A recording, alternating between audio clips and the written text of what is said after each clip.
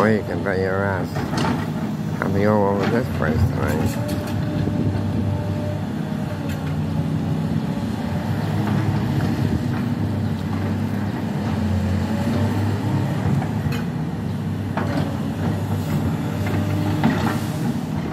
I'm gonna make sure I keep a good record of the entire.